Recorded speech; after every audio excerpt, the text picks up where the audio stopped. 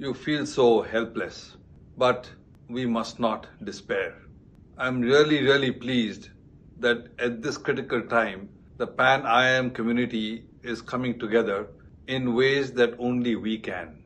Not just providing funding, but using our network and our resources to procure supplies, to do the planning, to do the logistics, and try and get supplies and life saving equipment to people who need it in the country. Like many of you, I have spent the last week or two struggling to find beds and oxygen for near and dear ones. Hopefully, our collective efforts can make a difference. Please join the effort.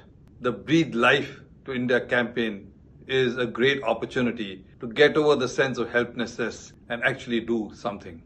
It's at times like this that I feel proud to be an alum of an IIM. Let's all do our bit.